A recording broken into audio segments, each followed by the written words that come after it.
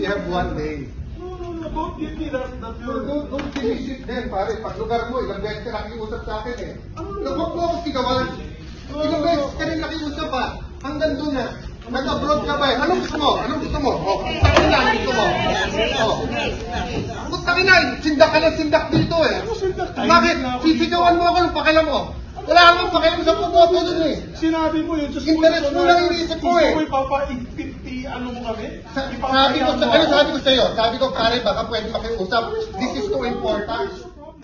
Then I, I actually did not interpose any objection, Mr. President. I just wanted to, for the good gentleman to clarify with me what this uh, concurrent resolution is all about. That's all, Mr. President.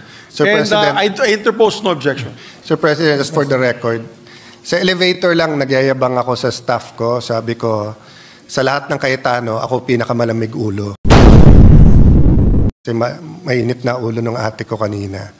And yung dalawa kong kapatid, madali ding uminit ulo. And then uminit ulo ko ngayon. So I apologize to everyone, including uh, Senate President Subiri. Technically, may excuse ako kasi I'm on steroids dahil hinihika ako ngayon. But it's still no excuse. So pasensya na kayo. Me also, I apologize for my behavior, Mr. Yeah. President. I mean, we've known each other since uh, 1998.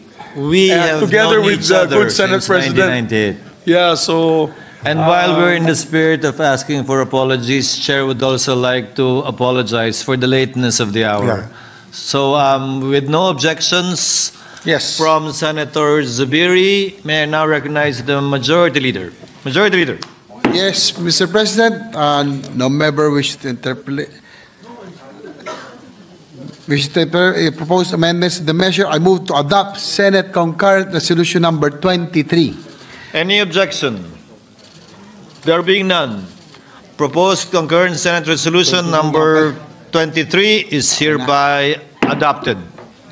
Thank you. Aye. Mis- Mr. President, I move that we adjourn session until 3 o'clock in the afternoon of Wednesday, to September 25, 2024. Any objection? There being none, session is adjourned until 3 o'clock in the afternoon of Wednesday, September 25, 2024.